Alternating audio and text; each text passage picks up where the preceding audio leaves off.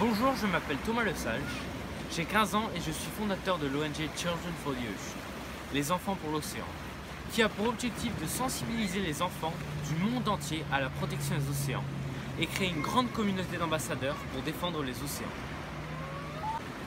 L'océan est essentiel pour l'homme. Il absorbe 25% de notre CO2, il dégage de l'oxygène, il régule notre climat, il est une source de vie, il nous nourrit et il abrite une vie aquatique et une biodiversité très riche.